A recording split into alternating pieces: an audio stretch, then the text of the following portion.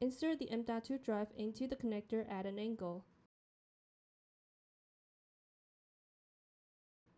Lower the drive and secure it by fastening the screw. Install the top cover.